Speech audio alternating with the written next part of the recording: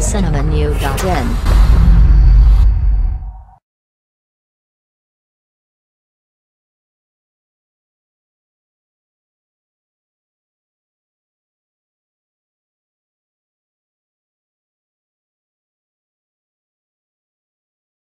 தமிழ் சினிமாவில் ஒரு படம் ஹிட் ஆனால் அதன் இரண்டாவது பாகம் வருவதுதான் ட்ரெண்ட் இவை ஹாலிவுட்டில் மட்டும்தான் பிரபலம். தற்போது கோலிவுட்டுக்கும் பிரபலமாகியுள்ளது. இந்த நிலையில் சுசி கணேசன் இயக்கத்தில் யாரும் பெரிதும் எதிர்பார்க்காமல் இருந்து வெளிவந்த சூப்பர் ஹிட் படமான திருட்டு பயிலே தற்போது படத்தின் இரண்டாம் பாகம் வெளிவந்துள்ளது. அதுவும் முதல் பாகம் அளவிற்கு ரசிக்க வைத்ததா பார்ப்போம். படத்தின் கதை. பாபி சிம்மா காவல்துறையில் நேர்மையாக ஒரு நபராக தன் வாழ்க்கையை ஆரம்பிக்கிறார். தன் பணியில் என்றும் நேர்மையாக உள்ளதால் பல ஊருக்கு மாறுகிறார். காரைக்குடியில் இருக்கும் அமலாபாலை காதலித்து திருமணம் செய்து சந்தோஷமாக வாழ்கிறார்.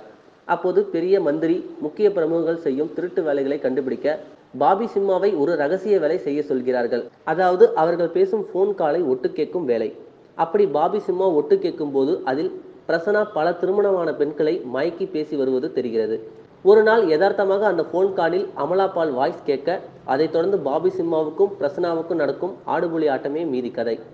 படத்தின் கிளாப்ஸ் இன்றைய தலைமுறைகள் சந்திக்கும் பிரச்சனையை அழகாக எல்லோருக்கும் புரியும்படி திரைக்கதை அமைத்து எடுத்தது.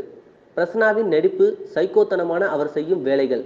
நிதானமான பாபி சிம்மாவை டீல் செய்யும் அலைவிடும் இடம் என கலக்கியுள்ளார்.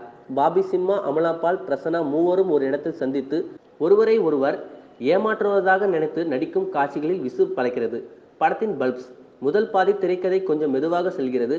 கிளைமேக்ஸில் இன்னும் அழுத்தம் இருந்திருக்கலாம். மொத்தத்தில் அறிமுகம் இல்லாத நபர் யார் கொஞ்சம் உரிமை எடுத்து நம்மிடம் பேசினாலும் ஒரு நொடி திருட்டு பயிலை டூ நினைவுக்கு வரும். நமது தமிழ் சினிமா சேனல் வழங்கும் மதிப்பெண் ஐந்துக்கு இரண்டு புள்ளி ஏழு ஐந்து.